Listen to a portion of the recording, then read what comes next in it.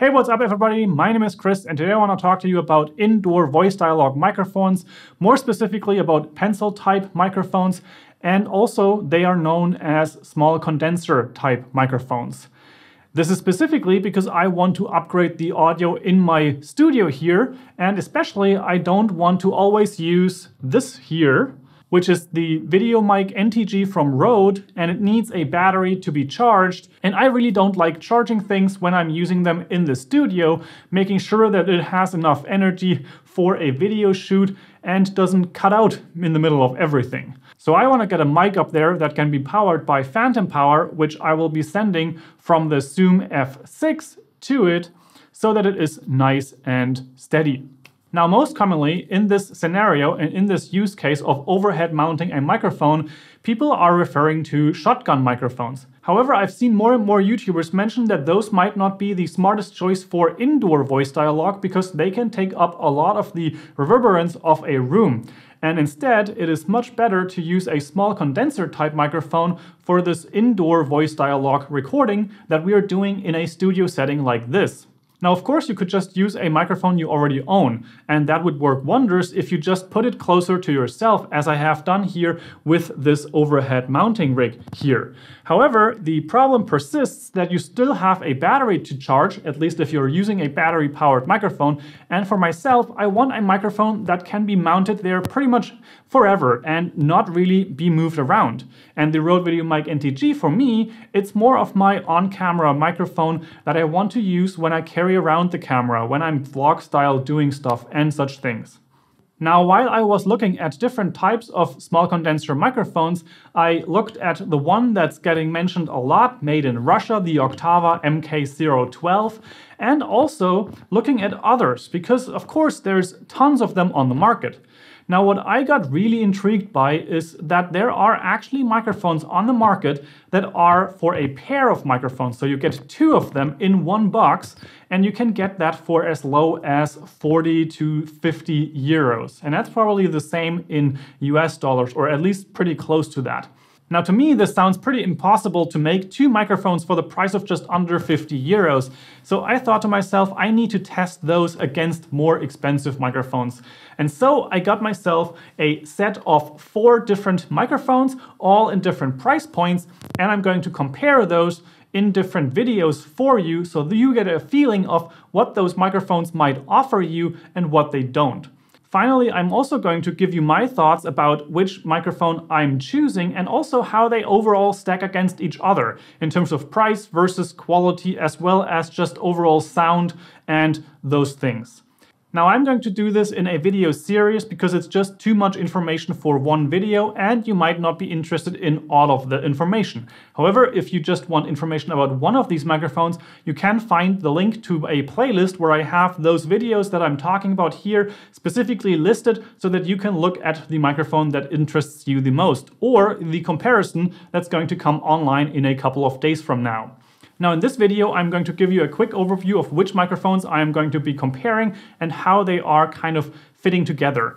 Then in the next four videos, we are going to basically give a review to each individual microphone, what comes in the box, how does it sound, and how does it uh, perform.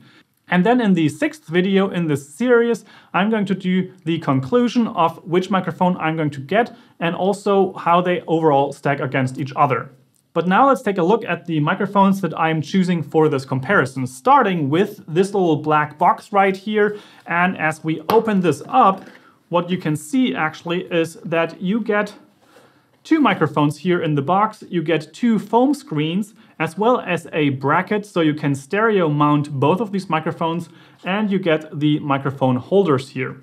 This microphone set is the Behringer C2 and this, generally speaking, comes with a low-cut filter and a minus 10 dB pad. It has a hypercardioid capsule, and the whole kit here costs around 40 euros. With that, this is the cheapest kit that we're going to be looking at.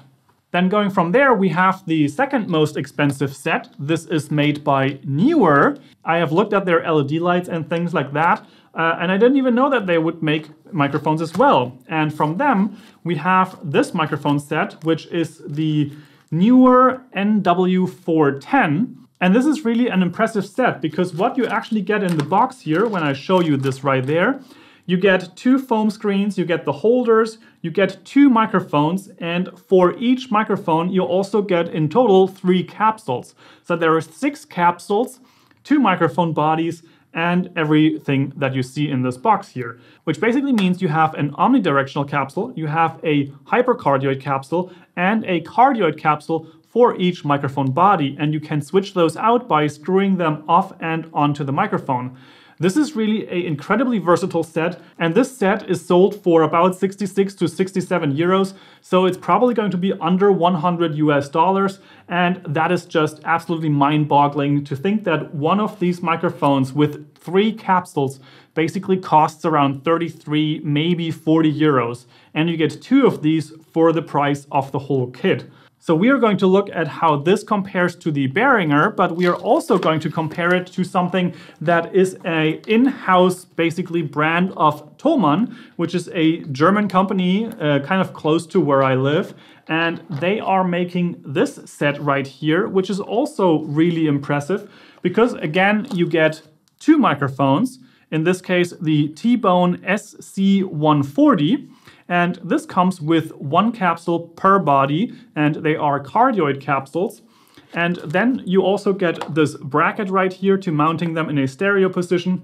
Two foam balls as well as these mounting spiders basically so that it is more shock absorbently mounted. This is also quite impressive for a stereo set and of course you also get the case here which is the case for all of those. The cases are included in the prices and this set right here costs around 110 euros. And last but not least, all of this is going to be stacked up against this little guy here. This wooden box contains the Oktava MK012, and I've seen quite a bit of talk about this specific microphone.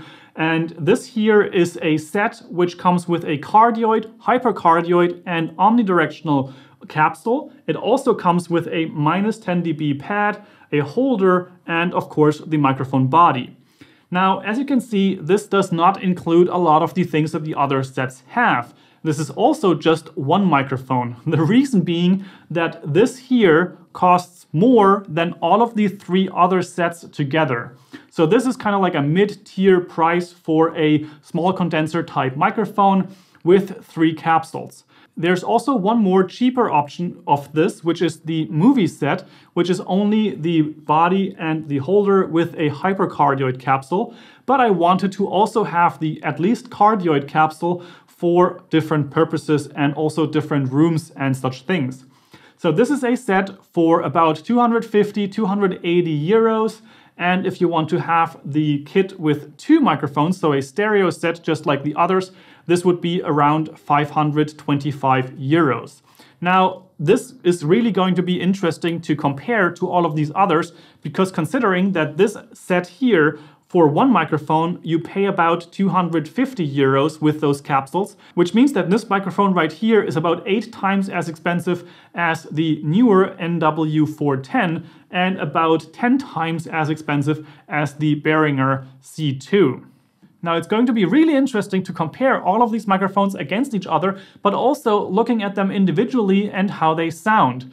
I'm really excited to have this opportunity and also give you information about whether or not it's actually worth it to spend the money for the Oktava, or it might even be a better break-even point somewhere in between. Now, if this is as exciting for you as it is for me, please give this video a like and let me know that way. Also, subscribe to the channel, turn on the bell icon so that you don't miss any of those upcoming videos. And if you have any questions for me regarding these microphones and also other topics, please leave those in the comment section down below. I will be recording those other videos pretty soon, so maybe not with those comments already considered. However, I can always make a Q&A video coming after that also talking about these microphones. So please feel free to leave those comments down below. And with all of that said, I hope you have an amazing day. Stay tuned for those upcoming videos and I will see you in the next one. Ciao, ciao!